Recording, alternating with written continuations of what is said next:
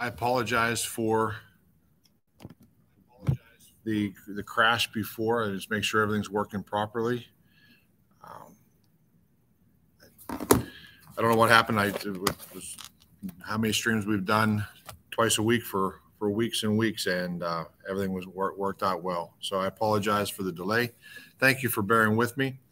I uh, want to talk about the commencement ceremony, the procedures and guidelines that will uh, that we want to follow for our July 1st commencement program.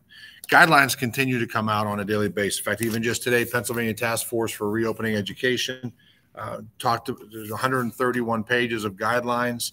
Uh, we know the CDC has guidelines out around large group gatherings. We know that the process to reopen Pennsylvania and, and what it means to be a green state or a green county, uh, all those things have a lot of bearing on what we want to do. We've looked at many options and many alternatives to the commencement ceremony, whether that's a virtual program, small group, individual, um, not having anything at all and mailing out diplomas. And I think that, that school districts around the region, county, state, uh, across America have been wrestling with those those things. We know we wanted to do something different. We know we, we wanted to try to hold a ceremony, and that's what we want to do, and, and that's what we plan to do.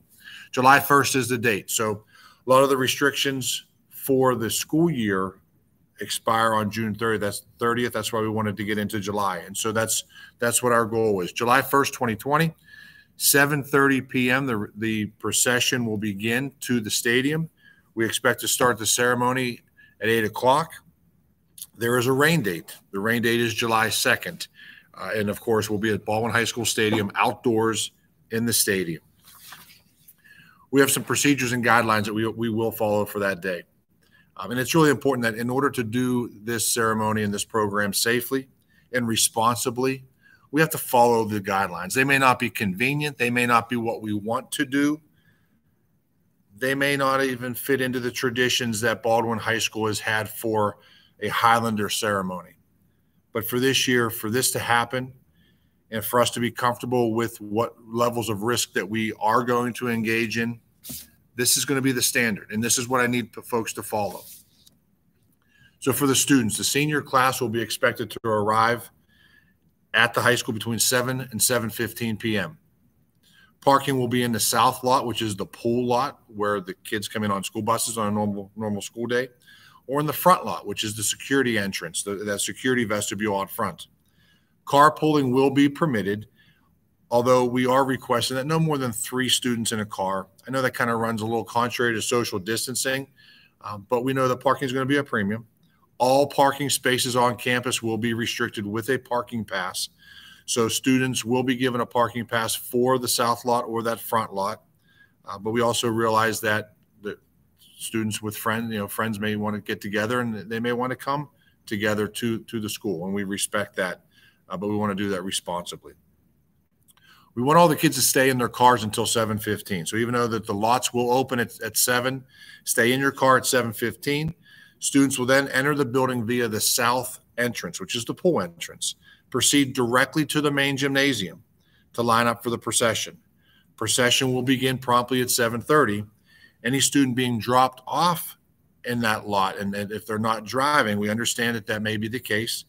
Uh, they can stand under the pool entrance canopy. We expect it's July; it's going to be warm, but can stand under the canopy. Social distancing must be practiced.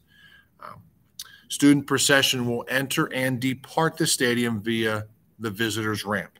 So normally we have always entered via that ramp, but we're going to leave after the after the ceremony from that same ramp, proceeding back to the south parking lot. At the end of the ceremony, the students will be expected uh, to to go back to their cars, uh, return to their cars, and proceed directly off school grounds. We will mail diplomas out that day or the following day. Students will not pick up their diplomas as we normally would do inside the school after the ceremony. So after we uh, come come from the ceremony back to the parking lot, kids will get back to their cars, and they'll leave and go on to whatever uh, whatever comes next. But it won't be at Baldwin High School. Students will be required to to wear a mask while entering and exit- exiting the ceremony. When so when they arrive and they depart their cars, when they line up for the procession, masks must be worn. So the district will be providing masks to the students. Uh, we're, we're, getting them ordered. Of course, that can be a keepsake as well. I, know this is the class of masks, um, but we are asking and requiring that masks be worn while entering and exiting the ceremony. While we're while we're in procession, we will be social distancing, uh, physically distancing, but masks are required. We also realize that it's going to be hot, and while seated on the field during the ceremony, uh, the masks will not be required because we'll be able to provide social distancing with uh, some space in between everyone at that time. We also realize that the photograph while while the students are receiving their, their diploma cover, we don't want that with a mask in it as well. So we're going to practice other methods and other safety precautions at that time. Uh, but so while the students are in line to get their diploma cover, and then when they return back to their seats, um, the mask will not be required. It's, it's suggested, of course, but not be required. Parents and spectators, we know this is going to be a uh, this this is challenging, uh, but each graduating student, each household, will receive two tickets. We are limiting the spectators uh, for the program. Two tickets will be required to gain admission. I'm sorry, a ticket will be required to gain admission to the campus. Anyone without a ticket will not be able to gain access anywhere on campus. You will be stopped um, at basically the driveway. So uh, there won't be anyone hanging on fences. So access to the stadium or access to the campus will require a ticket, period. Um, so any point during the ceremony without a, without a ticket, you will not be able to access. The, the event will be live streamed. So there is absolutely opportunity to, to watch the event. If you don't have a ticket, it will be live streamed. More information will be coming out in regard to that. Hopefully, the live stream is much more successful than I have been today. Uh, all the spectators will be required to park in the north parking lot, which is a student parking lot, uh, or there's an adjacent gravel lot. So at the very top of the student lot, there's a gravel lot uh, that was left over after construction. Um, so either of those two lots, there will be ample parking. A specific parking pass will be provided to you with your tickets. The stadium and the parking lot um, will open at 6:45 only. So do not come hours early as in the past. The lots will only open at 6:45. The stadium will only open at 6:45. All cars will enter the the student parking lot from the North Emblem uh, uh, North Emblem Road entrance. Required to leave via the Frisch Drive exit after the ceremony, um, and there will not be any parking on high school property without a parking pass. For spectators that have handicapped uh, parking needs. You'll be required to present your Department of Motor Vehicles, your DMV issued placard, along with the school issued parking pass, and we'll get you access to the central parking lot close to the top of the ramp um, and to provide for any handicap needs. We, we are not any issuing any school issued handicap parking uh, uh, uh, uh, passes. Anything that would be issued would be accompanying the Department of Motor Vehicles standard handicap parking placard. The walkway, this again for uh, spectators and parents, the walkway directly behind the high school, uh, the basically right outside that athletic overlook, will not you will not be able to access that. So you will, it will be closed and locked. Our goal is to keep the students in one one section of the school and parking lot, spectators in a different section. So anyone that's coming onto school grounds, I know we have residents that live nearby, parent, parents that live near nearby that don't necessarily need to drive, but you won't be able to access from that Jill Drive path coming through the south lot and then walking behind the school. You'll have to access the athletic ramp by walking around the front of the school, entering near just as the cars are coming in through the band lot and then coming down through the central lot and then down the athletic ramp. Um, all spectators will be required to enter and exit the stadium using the athletic ramp or there will be a specific path coming down from that gravel lot. Spectators will be expected to be seated upon arrival and not linger in the concourse areas um, and at the stadium and then remain in their seats until the graduates leave the field at the end of the ceremony. Upon the conclusion of the ceremony, spectators must return directly to their vehicles and depart from the high school campus. The normal congregation in the central parking lot just cannot happen. Uh, that's one of my biggest concerns. That's one of the biggest areas that we that we that we face risks. Um, and so that congregation in the central parking lot will not happen. So we'll leave the, the parents will leave via the athletic ramp, come up the ramp, make the right into that parking lot, keep moving and, until they they go up to the student lot and, and take their get, back into their cars. If they parked in that gravel lot, you can enter the same way, uh, exit the same way in which you entered, uh, return to your cars. Um, in the way that will be required to park everyone, we do need everyone to return to their cars promptly uh, because otherwise uh, the traffic flow out of the lot just won't be able to happen the way we need it to. The central parking lot will be utilized for faculty and staff parking. So when you have uh, board members, uh, faculty, staff, folks that are making sure that the program can happen, of course, then the handicapped um, access as well. There will be passes for that um, uh, for that lot, and additional information will be will be provided to that group. We are asking and uh, having the Baldwin Airs and the Baldwin Band uh, to be participating in our event on July 1st, and so the band parking lot will be utilized for parking and coordination for this particular group. Again, specific parking passes will be provided. Uh, Mr. Tranter and Ms. Virgin will be getting more information out to these children and these parents um, in, in, the next couple of days. Um, and so please be on the lookout for, for that information from those folks. Again, specific parking passes, they will be color coded. That information all will be coming out. The place where most of this information will be received is at commencement practice. Commencement practice will be on July 1st from 8 a.m. to 10 a.m. So important information will be communicated as well as the distribution of parking passes, the distribution of tickets. All that is going to happen at practice. So it is critical that students are there. Dr. Harold will be communicating additional information regarding this practice to the children. So, social distancing and safety measures that have to be in place. And I know they're not popular, but they're necessary. And again, leading into today, there's guidance that we're getting constantly. 131 page report that just came out today on, on guidance. CDC considerations for events and gatherings. Um, there's this constant guidance and, and requirements news that other organizations are being shut down for their, them trying to pull off outdoor events. So it is absolutely critical that we do all the things possible within our control to make sure that we keep everyone safe. So the social distancing and safety measures.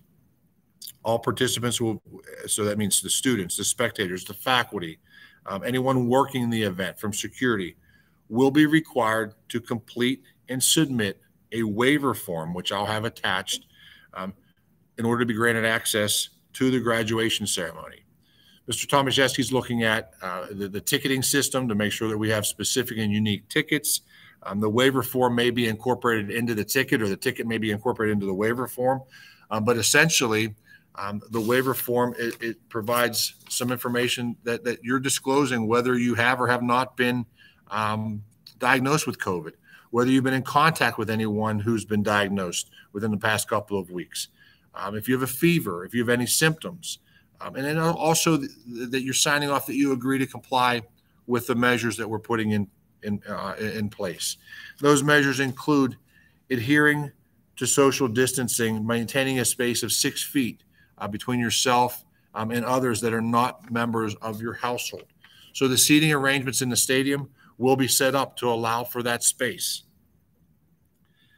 Seating in the stadium, um, again, will be set up for allow for that space, and we will have uh, staff members on uh, on site to help direct and assist with enforcing those seating arrangements.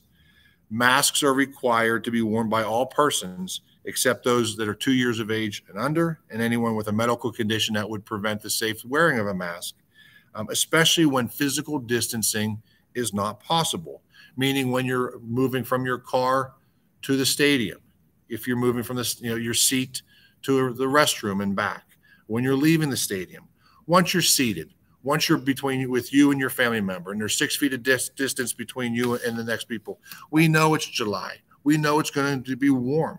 So we understand that there may be some leniences there but you've got to work with us and make sure that during those times of, of, of, transition, of movement, that the masks are on. That's the only way to do this safely. Must all participants must abide by the markings and the signage throughout the campus to ensure the social distancing. So we'll do our best to have markings, just like we see everywhere else. Markings on the ground, signage, posters with six feet distance. please work to adhere to those, the, the signage and that communication, the guidance that is there. There will be no bags of any type permitted inside the stadium larger than a wristlet. So to keep our workers safe, uh, normally we would do bag checks. We're not going to do bag checks because it's not there's not a safe way to do it. So we're not having any bags. So we realize that for personal needs, the idea of a wristlet is not unreasonable, uh, but no other bags, even with cameras and, and large uh, bags for camera equipment. Take the cameras out of the bag, leave the bag in the car bring the camera in, but no bags will be permitted. If you show up at the door at the gate with a bag, you're going to need to return it to your car, and that's just going to delay you getting in, or it may cause you to miss the beginning of the ceremony. Bottled water will be permitted. Of course, it, it, it's going to be warm. Uh, we are we will have bottled bottled water available as well uh, for participants, for spectators. Water fountains will be shut off, but we'll make sure that we uh, stay hydrated with the summer heat. Restrooms will remain open, uh, however, limited capacities will be in effect. So again, we're going to have the waiver, the social distancing, masks, and we're going to do everything we can to keep everyone safe during the ceremony. But we are restricting spectators to two per graduating household, um, and so uh, we're going to have to adhere to that. We're going to make sure that we provide for the distance, that we provide for the, uh, all of the guidelines that we can put into place. We're expecting a fantastic night. Uh, the length of the program will be a little bit shorter. We're going to limit the length of speeches. Uh, we're going to limit the number of speeches. Uh, but the idea there is to, to be in and out uh, within about 90 minutes or so. The real highlight and the focus is, is for, should be on the children. And so that's what we're, that's what we're going to strive for. That's what our focus will be. And that's what our goal will continue uh, to be. So again, there will be inconveniences. More information will be pushed out during uh, practice. Again, for with tickets, with parking passes, um, with the waiver form. So please make sure that the students are available July 1st at 8 a.m. to uh, to come to practice to get the information uh, and be on the lookout from the high school for uh, that additional those additional things. So thank you. I apologize for the the lateness of of the uh, the stream. I will have all this information posted in written form uh, tomorrow morning. So please look for it on the website. Uh, we'll send it out via Skyward, so it'll come up in your email as well. So we want to get all this out to you as clear and, and, and as succinct as possible. Uh, thank you for joining me today. Hope you have a wonderful evening, and I look forward to July 1st. Thank you.